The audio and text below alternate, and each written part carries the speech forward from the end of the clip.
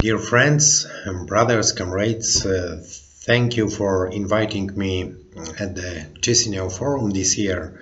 Unfortunately, I cannot be present with you due to, well, very uh, particular circumstances, which means that uh, as a former political prisoner uh, here in Poland, in the Atlanticist uh, controlled country, I cannot uh, leave the country. I have a travel ban now. I would uh, dream of being there with you. I would uh, like to join your conversations and uh, join the intellectual debate during the forum.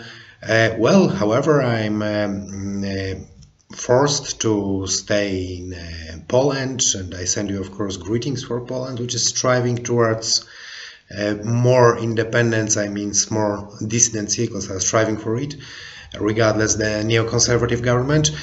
Uh, well, uh, first and foremost, I would like to wish you good luck at the, your conference, and uh, I would really wish that uh, everyone, including uh, those people who are now repressed uh, in Europe, in European countries, those people who are victims of neoconservative pro-US um, authoritarianism in several countries, uh, particularly in Central and Eastern Europe, could join uh, the forum next year, as I really wish and hope that uh, it will take place uh, on a regular basis.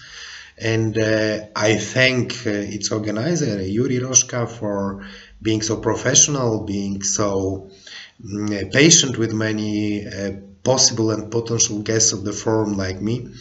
Uh, I really once more excuse me not being for not being able to come and join you and uh, hope to join you next year uh, which uh, could bring some more and more reflections and discussions on the fourth political theory on the multipolarity which we will be uh, next year uh, in a little bit different reality that uh, our movement and movement for multipolar world will progress and uh, the world will be more free and um, the world will be more open for the debates uh, of the dissidents. So uh, victory to all dissidents against the unipolar world order victory for the organizers of the forum